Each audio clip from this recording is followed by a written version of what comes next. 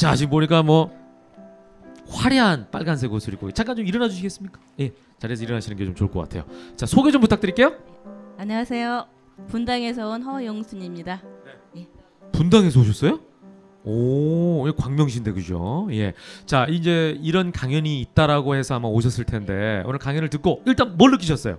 음, 아 제가 이제 은퇴할 시기가 이제 얼마 안 남았습니다. 그런데 이제 수명이 120세까지 이렇게 연장이 된다고 하니까 굉장히 고민도 되고 이제 문태 설계를 무엇부터 해야 될지 그거를 좀 여쭤보고 싶습니다.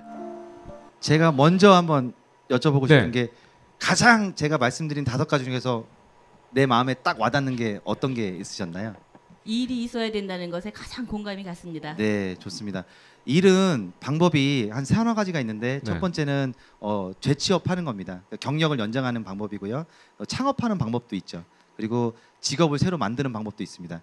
근데 어, 요즘에는 어, 많은 분들이 직업을 새로 만드시는 경우들이 많아요.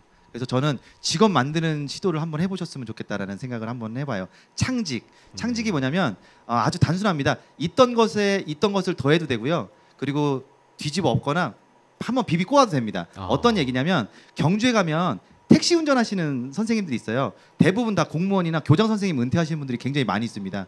그럼 그런 분들이 이제 운전하고 다니시는데 어, 문화재 해설사 자격증을 따셨더라고요. 아. 그리고 통역사 자격증도 가지고 계십니다. 그래서 네. 한명 사람을 태우면 본인이 일석삼조의 역할을 하고 계시는 거예요. 예. 그래서 내가 재취업도 조금 어, 우리 부모님 말씀대로 쭈글스럽고 음. 창업은 또 위험성이 크니까 내가 조금 더 어, 다른 일을 해보고자 한다면 음. 한번 직업을 만드는 걸로 한번 해보셨으면 좋겠고 첫 번째도 두 번째도 건강이 돼야 내가 직업이 있을 수 있는 겁니다. 그래서 건강 관리 잘 하시면서 직업을 만드시는 것부터 한번 시작해 보시는 게 어떨까? 요즘 현장에서는 연금을 한 건 더 가입하는 것보다 더 중요한 게 내가 평생 갈 수 있는 직장보다 직업을 하나 만드는 거. 그게 아- 아마 은퇴 설계 시작이 아닐까 그렇게 생각을 합니다. 네, 그럼 지금 실례합니다만